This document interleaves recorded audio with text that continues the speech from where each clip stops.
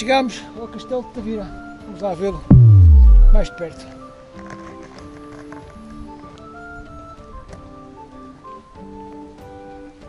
O castelo, o que resta dele, não é? Estamos a ver já não é grande coisa. Mas as muralhas tendem-se ali mais para, para longe.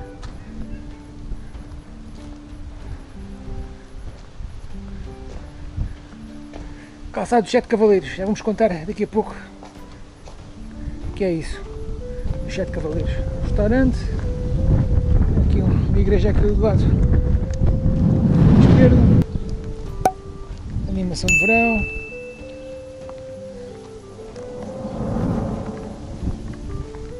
Algumas informações. Castelo e Muralhas de Tavira, de casa é o castelo, as muralhas são do outro lado. O horário Vamos ali, de segunda a sexta, das 8 às 17, sábados e domingos e feriados, das 10 às 19. Ok, vamos lá ver aqui o jardim do castelo. Epá! Já aí caindo. Temos aqui uma muralha, vai subir esta muralha.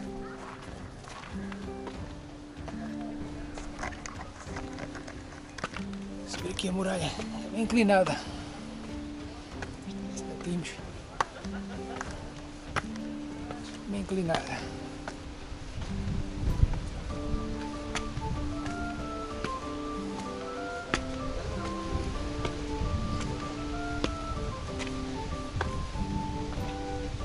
Vamos ali a igreja daquele lado. Vamos ali ver.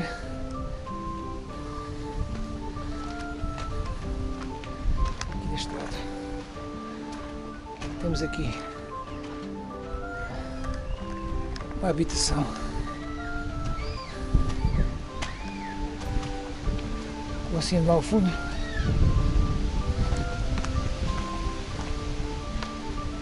As muralhas.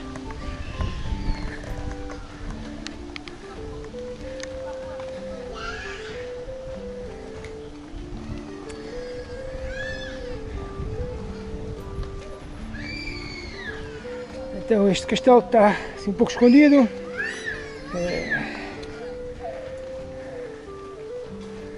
Servia para controlar os barcos e também controlava as caravanas que passavam ao norte. O califa de Sevilha dizia impiedoso conquistar Tavira era muito importante porque causava danos aos muçulmanos, quer por terra, quer por mar.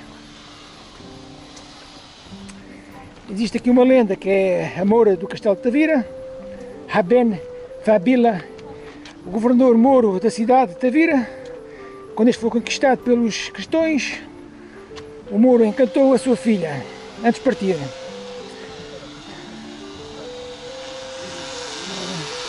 Então obras. É uma piscina.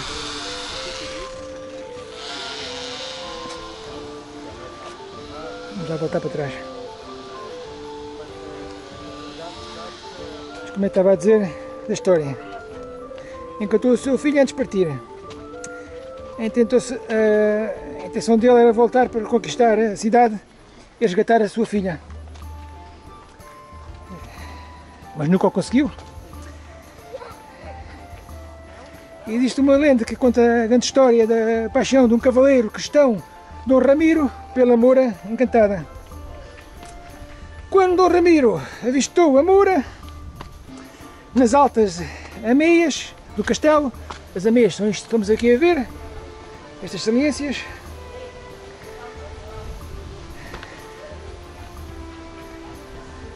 Ela impressionou-se com a sua extrema beleza. Ficou perdidamente apaixonado.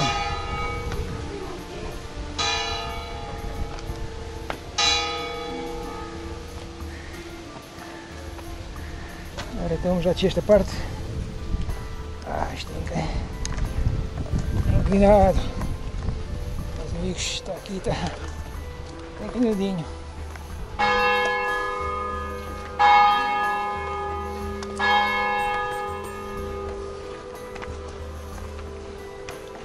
Os pés são grandes, as escadas são pequenas. Vamos andar aqui a saltitar. Vamos ali para o outro lado. Passar aqui para o jardim. Como eu estava a dizer, ficou plenamente apaixonado ao ver a Moura uh,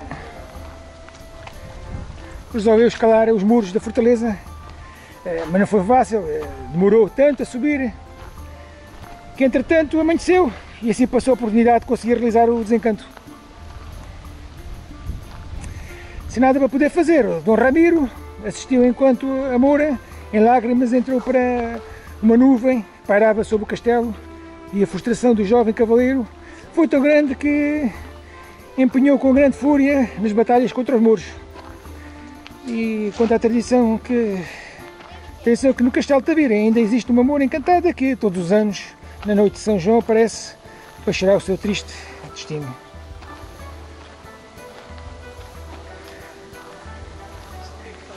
E é essa a história da moura encantada.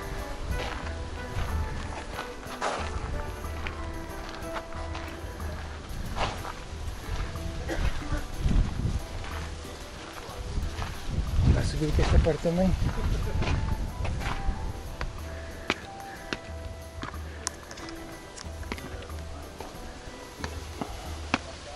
Isto é o Castelo de Tavira.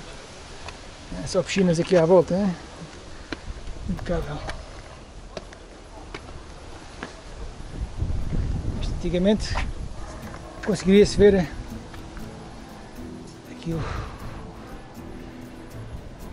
todo o horizonte marítimo, mas agora com os prédios à frente não se vê nada, né? E agora só se fosse para afundar barcos. Barcos não, afundar era prédios. Né? E as chalinas. Nós também temos aqui o vídeo das chalinas. Podem também ver. A igreja já está a dar as 3 horas.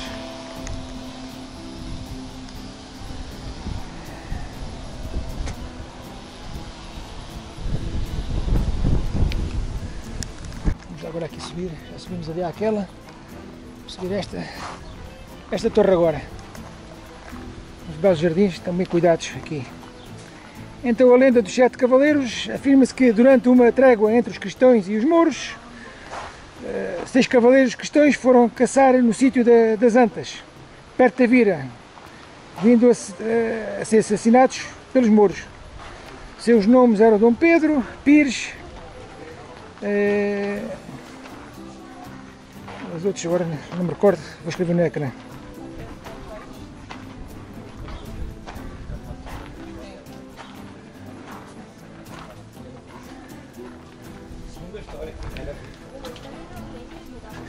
Vamos subir aqui.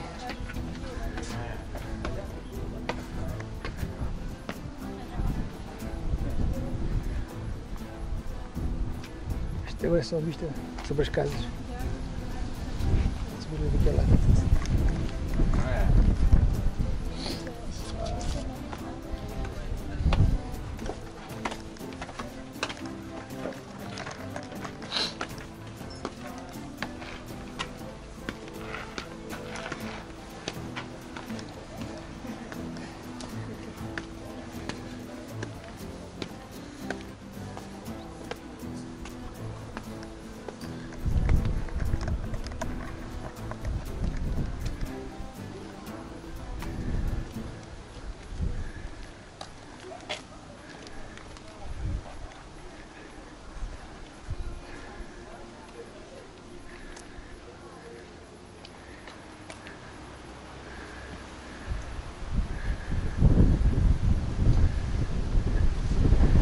É praticamente a mesma vista do outro lado.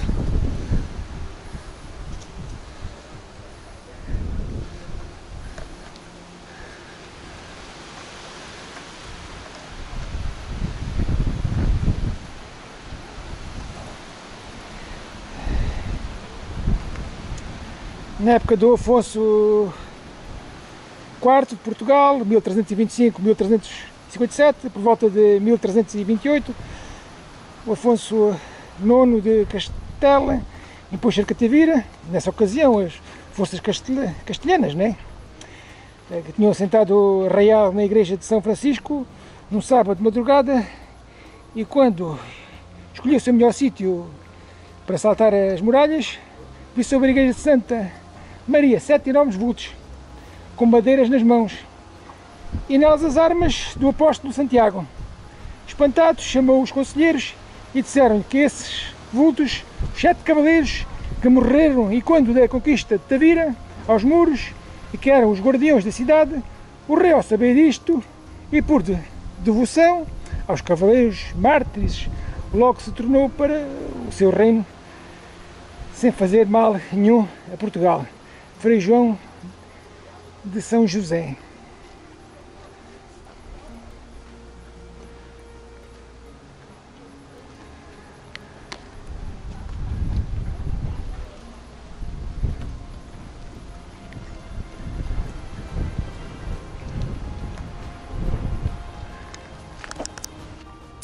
Descer.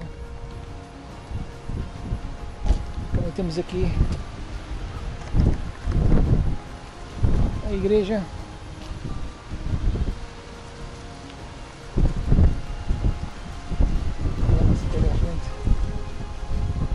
A entrada do castelo de Tavira. E, e é isto o castelo de Tavira. Venham até cá. Obrigado por assistir. Subscrevam. Um grande beijo para todos vós. Obrigado. E até breve.